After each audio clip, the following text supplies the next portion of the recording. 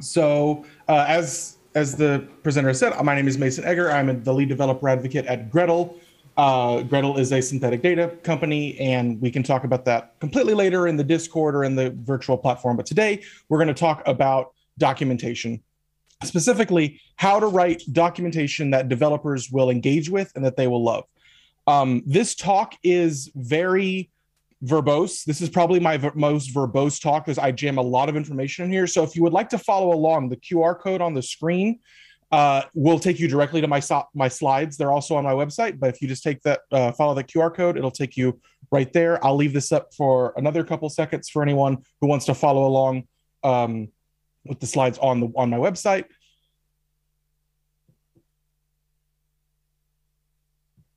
Okay, I think, uh, and if you don't, you can just go to mason.dev. It's the same exact title, and it's on the homepage. I think it's like the second link from the bottom. Uh, so it's a relatively easy uh, slide deck to follow. But anyway, so here we go. So first off, let's talk a little bit about like what is tech writing and why people appreciate it. So I want everyone in here to think about a feeling of that you get when you're following an online tutorial or a piece of documentation and the code works on the first run. Like you just spent 20 minutes working through a tutorial. Maybe it was a DigitalOcean tutorial. I used to help write those. Um, and the code just works on the first run, and you're so excited and you can move on. And just think of that feeling uh, when code works. When code works, it's a great feeling.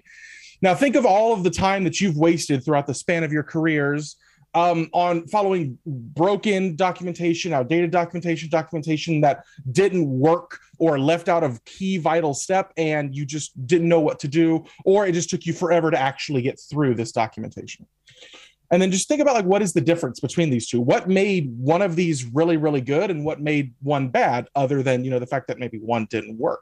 Because there are plenty of really good tutorials out there that work and there's some that they still work but it wasn't a very fun experience to work through that specific tutorial or it was more difficult. So technical writing in the broadest sense is just instructional informative writing that focuses on how to accomplish a task using a specific tool. This can be hardware, software, everything in between. Technical writing is not limited to the tech space in particular. This is this goes across almost anything that has a product. So think of your blender. Whoever writes that manual is technically doing technical writing. So, why is technical writing important? Well, it's usually the first impression that someone will ever have with your project. And this is, if you take nothing else from this talk, this is the key bullet point I want you to take is that if they don't like your writing or they don't like your documentation or they can't figure out how to use your tool immediately, they're going to leave and find another tool. There are very I can think of very few libraries where that's the only library that does this thing. There's so many open source projects now and so many tools that if the if they can't figure out how to use yours, they're going to leave. And if they can't figure out how to use quickly, they're going to leave relatively quickly. Um, but technical writing teaches us about a new code or project that we didn't know about. You know, when was the last time that you found a project just by browsing source code, like going into GitHub and reading straight .py files? Uh, readmes do not count. If you go into GitHub and you're reading a README, that doesn't count. That is technical writing. Um, so technical writing is usually the first step and the first thing that anyone will touch. It also teaches uh, your it teaches people how to use your project effectively and safely. So imagine you have maybe a vehicle or a vehicle manual or something for your uh, for your car, and the the directions say fill up the tire with air, versus fill up the tire with air to 35 psi pounds per square inch. Um, you know, it doesn't seem like it's much, but that's a big difference. If you overfill a tire, it explodes. That's not a good day. Could seriously injure you. You underfill a tire, you damage your car. So even these minutia of details that people that you may leave out could have drastic implications for the quality of your documentation. Um, technical documentation helps you f- build community around your project. It's likely to bring people back. People will want to contribute. And the thing that I've noticed more often than not is people will tell their friends about their your project. If your project is good and the technical writing is good, people will like it and they'll tell people, yeah, not only does the project do exactly what it says, but it's super easy to get going. And I never have, I'm never confused because the documentation tells me everything that I ever need to know. And that's a great thing. And you really want that. So today I'm going to go over my top 10 tricks and tips for improving your technical writing. Um, disclaimer, these are my tips. This is Mason's tips. Um, this is what I've learned after spending multiple years when I was writing at DigitalOcean and now I'm writing at Gretel. Um, working with professional editors and all of these and like amazing people who have taught me so much about technical writing. Um, just because something i say does it like maybe something didn't make the list that you think is really important that does not make it invalid okay? There are so many things that i could have said here.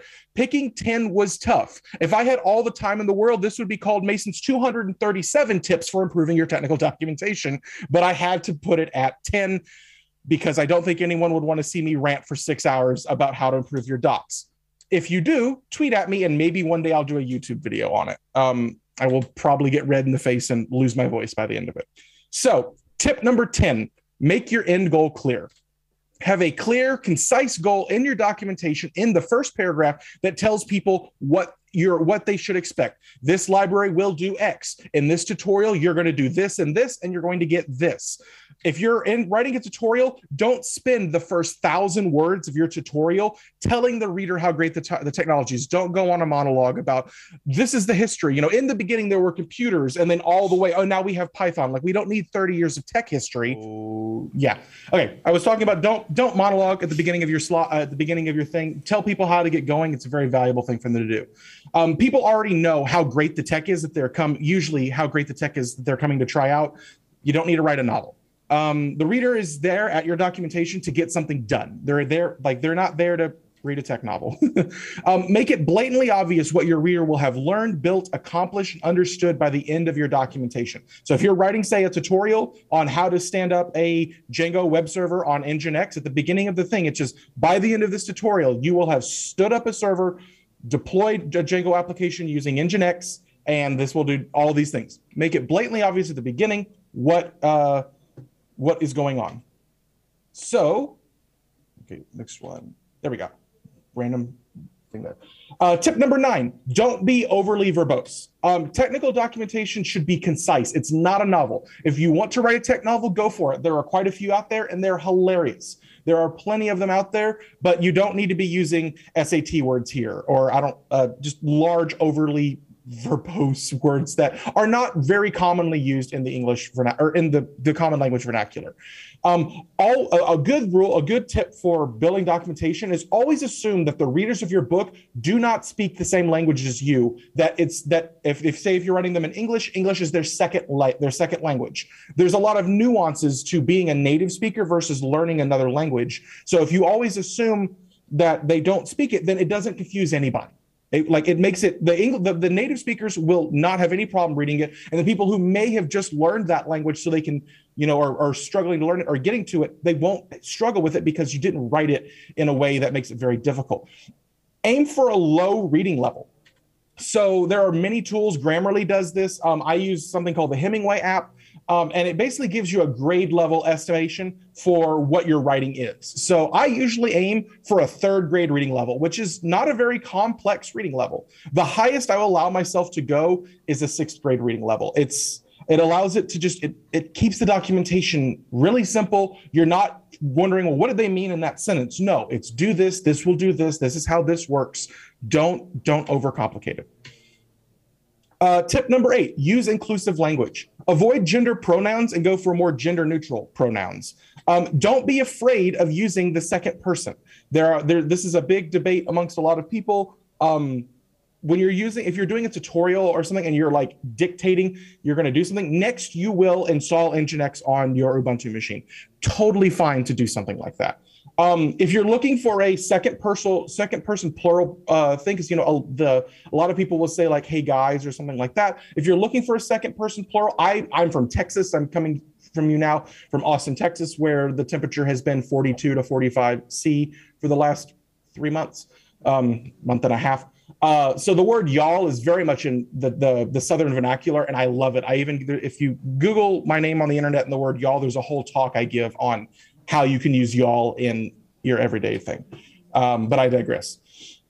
Avoid using internet slang that can be viewed as derogatory. So there's noobs, there's 10x developers, there's dummies. You know, there's a very popular book series of blank for dummies and it's actually a very good book series i very much like them but i know people that are like i'm not a dummy i'm not going to read that book so don't don't do like don't do it it's not it's not it's not worth it you're gonna you're gonna drive some people away from it um Avoid words that can make someone question or doubt their skills.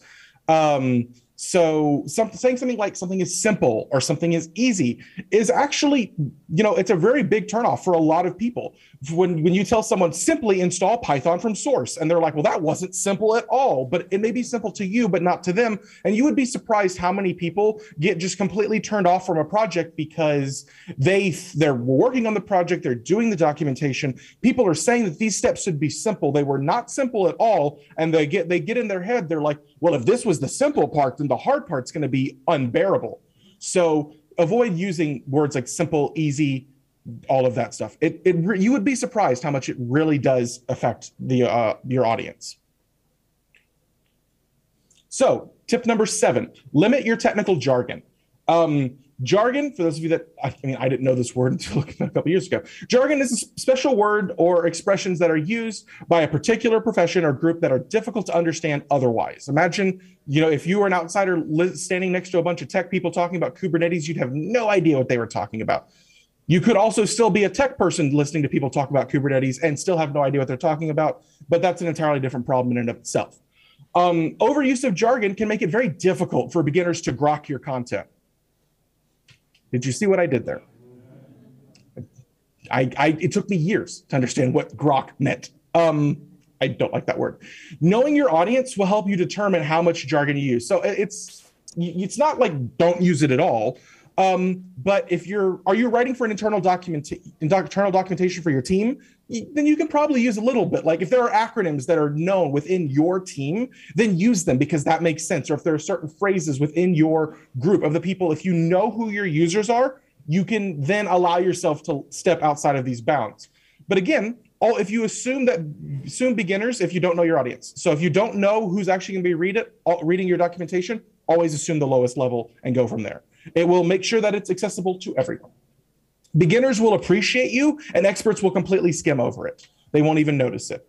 Um, you can also have a statement saying at the beginning for your docu- who your documentation is for. These this documentation is for beginner developers who do not know how to deploy Django to a Python server or to a web server. Totally fine doing that. So, next tip, tip, tip number six define all acronyms. Tech has way too many acronyms. We have acronyms for our acronyms. Um, and then you get into the recursive acronyms, which just no. Um, we even have some acronyms that can mean multiple things, and I ugh, it's awful. Acronyms scare readers away easily, always. They scared me away when I first was in university doing stuff. At the acronyms, trying to learn networking and going through the acronyms, it absolutely scared, terrified me as a new learner. Um, terrifiers, new learners are always intimidated when they're learning about tech. Everybody is intimidated when you first start learning about tech. It, if you don't, when you until you understand how the tech works, it really is perceived as magic.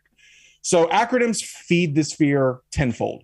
Write out the full name of the acronym when you first introduce it. So, for example, you'll need to add a record to the domain name system, comma DNS to you know make sure that you can we can access your website via you know www.mywebsite.com um, if you plan on using the re- the acronym for the rest of the documentation say so say that like you'll need to add a record to the domain name system dns comma we'll refer to the domain name system as dns for the rest of this tutorial that way, if anyone is curious, they can go back up and like, oh yeah, they're just going to call it that for the rest of this time.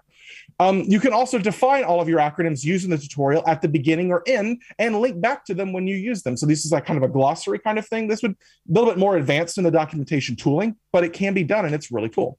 So tip number five, avoid memes, idioms, and regional language. So this is kind of like jargon, but more pop culture um, avoid using memes unless you are positive of who your audience is.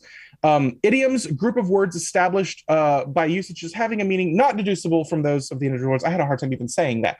Uh, but things like pull out the stops, piece of cake, costs an arm and a leg. These are English idioms and stuff that that we understand because you know we've been around them we speak english we understand like it's a native speaker thing like you can get them but like if this again if you assume that this is someone whose english is a second language and you know maybe they just got through like you know certified in being able to speak english and you say something costs an arm and a leg they're going to look at you like you're barbaric because they're going to think that you're like oh we actually have to cut off like an arm and a leg. So don't use them they really do make uh understanding it difficult your six coworkers will probably understand these so if you again if you're writing internal documentation totally fine a global audience who might have never seen spongebob might not get your weird spongebob memes Um, avoid using regional language that may, might confuse native and non native speakers. And now we get into the joys of English, where performing this command will totally trash your, trash your system. Or don't use this library, it's dodgy. I mean, just the difference between the different vernaculars of English around the world can make it difficult for even English speakers to understand. Native English speakers have a hard time understanding English. So, yeah, just don't do it. Try to avoid it. Be a little bit more, you know, prescriptive and verbal, like, you know, to the point with it. PowerPoint is being weird today. Tip number four use meaningful code samples and variable names. Uh, if I ever run for public office, this is my platform. Um, use examples of real problems for that your code can solve. Readers want to know what problems your code solves. Show them. Don't don't tell them, show them. How many of you have actually read the entire description on a Stack Overflow problem before scrolling down and just copying and pasting the code? I don't want, and I doubt it's everyone in this room. It's also really fun to do these kind of like question and answers when I can't see any of you. So I'm hoping that the jokes are landing. If not, sorry. Um, very often, readers just skip to code. If you have good examples, they may uh, get the entire answer from a single code block and never actually read any of the things that you've written. That's not a bad thing. It's actually a really good thing. Um, use meaningful variable names. This is the part that I get on a I get on a high horse about. We all say coding should be self-documenting. Well, the documentation should be self-documenting too. Foo and bar are useless. They need to go. Period. End of statement. That will be. I will. I will die on this hill. Like use variable names that are actually meaningful to your user. Include everything that is inclu- needed to run. This includes all of the import statements. If you need to import something, make sure you show people how to import it because it's not always obvious based on the name of the Python package or anything how you install it or how you get it to go so that you can use it. And then always have a completed copy of copy pasting. So if you're writing a tutorial and you're walking through the user, say a basic Flask app, and you're like, this is how we take our first request, this is how we do this, this is how we run it have those blocks separated out and be like, add this to your editor here, add this to your editor here, explain them, but at the very end, have a giant piece of code they can just copy and paste the whole thing. That way, if they don't want to do it, or you know, maybe they do a typo, everyone does typos. Being able to have a working, functioning piece at the bottom will make it will make the experience for your users so much better. Tip number three, we're getting here towards the end. Don't make your reader leave your docs. Um, avoid sending readers to many other likes and uh, sites and links. Mix mix up my words there. Everything necessary to complete your task should be in your article. Copying a few steps from another piece of the documentation is better than sending people to other sites. If you're eh, when people leave, they don't come back. This is this is a big thing. Is that like when you like how many of you have fallen down a Wikipedia or a Reddit rabbit hole or some sort of rabbit hole where you're like you're, you're googling this like oh I don't know this now I need to go here and I don't know oh I got here and I don't know this and I need to go here. Basically yak shaving. Um, we've gotten all the way down and people don't pop back up the stack when they're doing it. They just they never make it back to your site, so it's not a good experience for them. Um, if you're going to make your reader leave your article, have a reason and then have and then have a way to bring them back. Do it at the beginning. Um, and then have like a you can have like a list of prerequisites the very beginning of your tutorial that needs to be completed before the tutorial. So you can say something like you need to have java installed on this server. Here's a link to install java. Once you're done installing java come back here follow this next step. Um yeah make sure you let link out directly to what they need to accomplish. Don't say go install python. Like that will you'll never get them back. If you're like oh just go install python you'll never get them back. Give them a tutorial give them some sort of way of showing them how to do it that sets them up for success and then have them come back when they finished. Um, another a great tip about this is, is if you tell people how to set up their environment, then you have control over the environment. So when you're writing your documentation and you're testing, it's not as difficult to know what's going on in their environment because you showed them how to set up the environment. So now you're not like, oh, well, do the, maybe they had some background libraries installed or something. We don't, we, we know they don't because we said use this virtual environment with this version of Python. And it's a great way to make sure that your docs can remain consistent. Because if you have to try to debug every single way that someone's ever installed Python, your documentation is going to be uh, is going to be a novel and it's going to be huge. Tip number two make your content scannable. Make it easy for readers to find a single piece of information. Beginners tend to read entire posts when they're doing it. While experienced users will scan for the information they need. They'll go to a specific heading or a chapter in the tutorial. Oh, I just need this piece. Let me get it. Use headings and subheadings to break up your content. Don't just write one long thing. Step one, install Ubuntu. Step two, install Nginx. Step three, install Django. Step four, write Django app. Step five, deploy Django app. This will at least break it down in a way that if someone who does want to scan it can find it immediately, or if a beginner read this whole tutorial and then comes back at a later date because they just need to remember how to do one thing, they can easily find it without having to scroll through or do a control F and find some phrase that they remember in the tutorial that was kind of near where they want to go. Make your content navigable. Outlining big changes, such as a next step or a change of context. Um, pairing with a table of contents, my favorite thing to do, so much nicer. Use consistent style when you're writing. For example, make all your library names bold and all your file paths italic. The user will quickly pick up on this. Humans are great at, at recognizing patterns. They're really good at, like, oh, every time I see something in bold, that was a library name. Now I know that. So now, whenever I see it three tutorials into my documentation later, I know that it's bold. I know that's a library we're really good at this and we pick up on it subconsciously. So do this and your experience will go through the roof because people won't even know that you're guiding them to where you need to guide them to, but they will appreciate it regardless. Consistency is key. I like uh, there's a lot of really good style guides. Um do.co slash style is the DigitalOcean style guide, and it's the one that I use. Um, you don't have to. Just be consistent. If you want to make up your own style guide, fine. As long as you're consistent with it, then it's not a problem. I would probably err against flashing text and marquees. This isn't the 19, early 1990s. Um, other than that, everything else is pretty much fair game. Tip number one verify your instructions. Test, test, test. Always verify that your instructions work and test them. Test them again and then test them a third time. Um, the only thing worse than no documentation is incorrect documentation. Because when it comes to no documentation, I either figure it out or I leave and go find another project. When it comes to incorrect documentation, I may spend an hour wasting my time. And now you've wasted my time. And in my mind, time is honestly the most valuable resource we have. So wasting someone's time is actually, in my mind, worse than not giving them instructions because they'll either decide to power through it, read the source code, or they'll go find a project that actually does give them instructions um, if possible, have someone else test your work. You would be like you're going to get biases and stuff. Like you're you're used to seeing this code, you're used to working on it. You know that this works this way, and you may not even know that you know that, and you're going to make assumptions and stuff that the, that the common reader will not. So having an editor, a peer, a teammate, even a friend work through documentation can help you find lapses and where you were missing.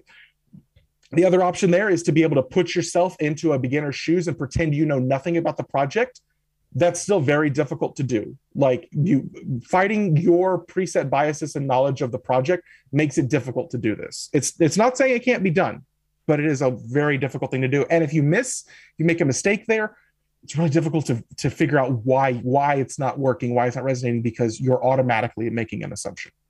Um, use a fresh environment for your testing, please. Attempts to remove attempting to remove attempt to remove bias from your development environments. You don't need like your shortcuts, your packages, your tools, everything that you have on your workstation, it makes it work for you. So spin, spin up a small VM, spin up a fresh virtual environment. Even then, you know, if there's stuff in the system Python path, it could mess it up. Or other command line tools that you have that other people don't. You know, maybe you have HTTPIE installed, which I love, um, and you just never think about telling people to install that, but all of your documentation uses it, and they go to t- type HTTP, um, and it just does command not found, and they have no idea why because you didn't, you know, you didn't think about it. Understandable. So fresh environment, it really does make a difference. Bonus tip, last tip. Uh, the be- the best way to get better at technical writing is to write. Like everything on earth, practice makes perfect. Like you have to do it to get better. You get better at coding by writing code. You get better at playing a musical instrument by playing a musical instrument. You get better at writing by writing. It's relatively straightforward. Um, set aside a set amount of time daily, weekly, monthly, doesn't matter. Fine. If you really want to get better at your technical writing, find time. You do not have to publish it. You don't have to publish anything you write, but don't throw it away. save it in a folder. You never know when you might want to dust it off. You never know when maybe you wrote something like, "Oh, wait, I have I already kind of like started this. Let me go get it out of the out of out of my, you know, folder that I keep everything in." It's whatever it is. So just practice. It really will get you really far. How can you get started in technical writing? Well, write documentation at work.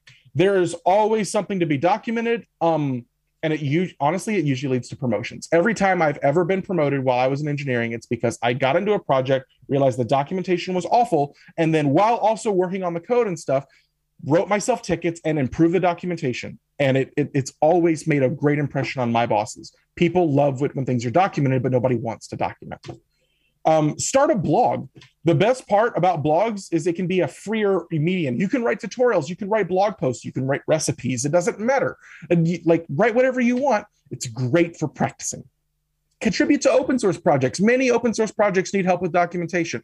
If you can, if you can honestly tell me that every open source project that you've ever worked with has perfect documentation, then you don't need to do this. But I cannot, I do not think there's a single person in this room that can say that to me with a straight face and not bust out laughing. Um, so help them out with it. Hacktoberfest is a great place to start. This is how I've started every year. I contribute documentation every year. Yes, I like writing code. It's pretty fun.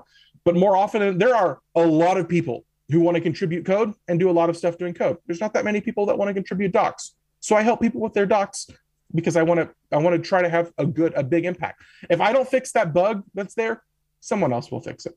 But maybe someone else won't write the documentation. So thank you so much. That's all I have for this time. We had a weird technical difficulty, but that's totally fine. Um, follow me on Twitter if you want to ask me some questions or anything. I'll try to get into the platform and uh, see what's going on. Also, if you scan this barcode and you want some of this synthetic data sticker right here, scan the barcode, fill it out. I will. Uh, we will mail you some swag. Um, and if you want, again, these slides are on my website. Thank you very much. Hopefully, next time I can be there in person with you, wherever the next EuroPython is. But I hope you're all having fun in Dublin. Wish I was there. Thank you so much.